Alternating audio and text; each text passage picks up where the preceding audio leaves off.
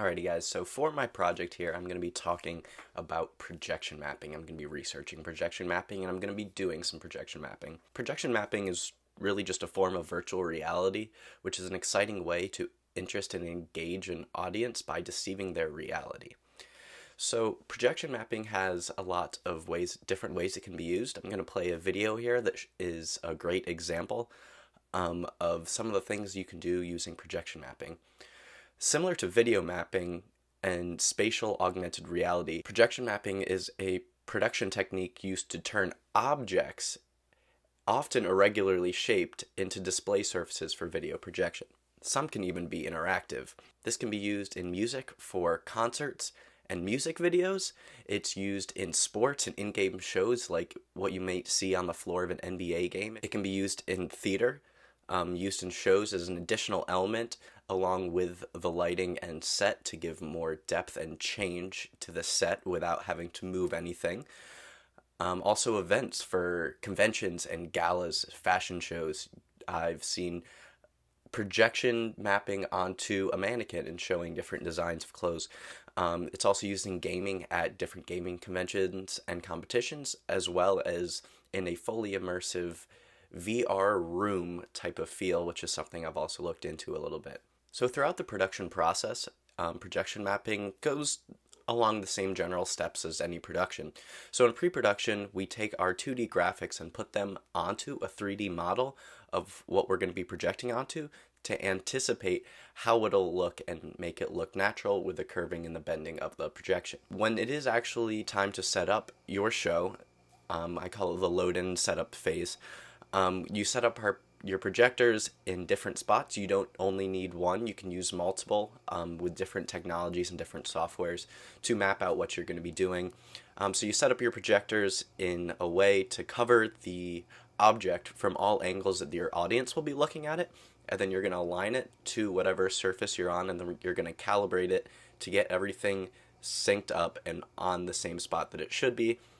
It's also very important that you have marked off where your object is if it's movable and where your projectors are if you're not going to be keeping them there the whole time. Then once the production actually comes around, um, in some applications, the image is not even completely pre-created. Sometimes, like in gaming, there's feedback, so the video will change based on what's happening or what your player is doing if you're in gaming. But either way, in production, the general gist is to hit the play button and go through your cues just like sound and lighting does. So over working on this project, I've actually got what's called Heavy M Live, which is one of the best softwares for projection mapping. So I got Heavy M to try it myself and get some first-hand experience with the technology and how to physically do projection mapping, warping, equipment setup, and all that stuff, just so I had a first-hand experience so I can speak a little bit more intelligently and speak from experience. For projection mapping, there are tons of different softwares available um, for just about any budget. And these softwares were not all originally made for projection mapping. They're just like a lot of the tech we've talked about stolen from industry in other applications and twisted and used in our application. So a few of the softwares for projection mapping that are leading the way right now. There's one that's called Resolume Arena, which is very easy to use and you can use as many projectors as you need. Another is MadMapper, which is built specifically for projection mapping. Heavy M Live, which is what I'm using, which is a relatively new and made just for projection mapping sh live shows, which is why it's called Heavy M Live. Uh, Mapio 2 is not for live performance, but more for permanent installation. And lastly, I looked at Millumin 3, which makes plots and video warping very easy.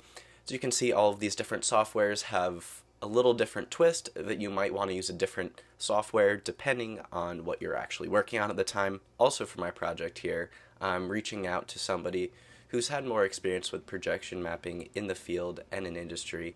But I'm really excited about my own research. Um, as you can see here, I set it up with my car. I actually had a projector around, not the nicest projector, but for my applications and for my research it works really well um, as long as we get the room nice and dark. As you can see my car is red. It would be really awesome if my car was white and I could really have a lot more freedom with color. Um, same thing with the black wheels, not a lot of freedom of color. There's only so many colors that you'll be able to visually see really easily when projected on black, especially when the not high level projector or multiple projectors. Either way, I'm having a lot of fun. As you can see, I've messed around with effects and stuff. So the first thing you need to do is set up your projector so when it's on, the box that it would create with the projection would cover your object completely. So I kind of had to angle my projector a little weird to make that work. But then you go into Heavy M software and there's a field on the screen that um, simulates the field of your projector. And as you move your cursor around, there'll actually be the cursor um, shown more of a crosshairs on your actual image you're projecting onto from the projector so you can align where your mouse is on um, the computer with where your cursor is on the actual item you're projecting onto and then you trace it in a way and create a different map. So you have different layers and different shapes of your objects. As you can see, I have my wheels cut out differently.